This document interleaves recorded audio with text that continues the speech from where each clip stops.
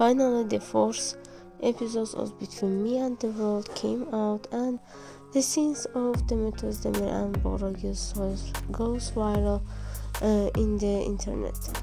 Uh, their uh, love scenes from the uh, first three episodes. Also, in the fourth episode, we can see that uh, Demet Özdemir reveals the betraying uh, by Bora his partner Tolga.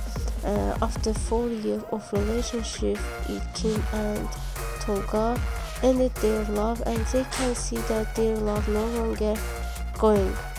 Uh, Demet Özdemir's role in Disney Plus uh, is different from her first uh, episodes from her uh, other roles and here we can see Demet Özdemir's very professional role uh, how she improved herself very well also Ekin is a strong woman uh, character in which Demet Özdemir can show her all actors' abilities.